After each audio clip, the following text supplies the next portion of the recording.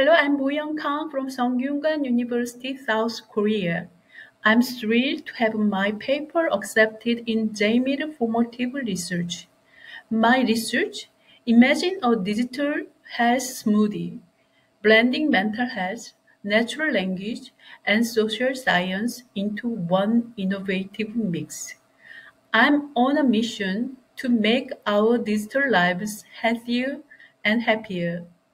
Would you like to join this interdisciplinary adventure? I chose to submit my research to JMIR Formative Research for three key reasons.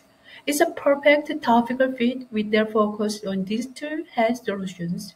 Their interest in mixed methods aligns with my approach, and it's a leading platform in the field where many important studies on digital interventions have already been published.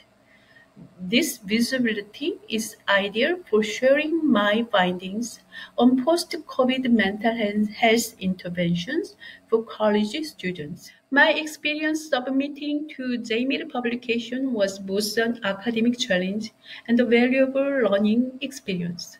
Communication was efficient. The transparent process made tracking progress easy. The editorial support from text to multimedia was excellent. I highly recommend JMIR to other researchers.